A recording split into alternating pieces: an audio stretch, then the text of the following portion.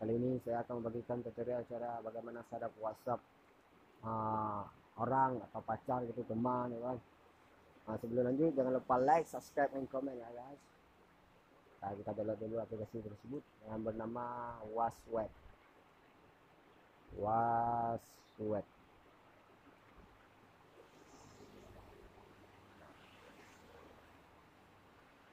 kita buka aplikasi yang bawah nomor dua nih ya WhatsApp karena saya udah install saya tinggal buka aja.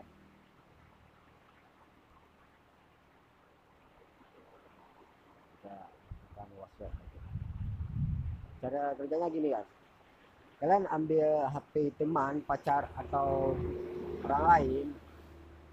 Kalian cari di menu WhatsAppnya WhatsApp ada titik tiga di atas pojok kanan. Tekan saja WhatsApp nanti akan kamu curang nah kalian minta suruh uh, screen.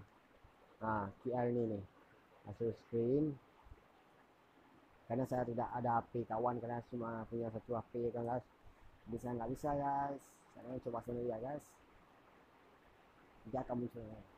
Jangan lupa like comment dan subscribe ya guys. Oke okay.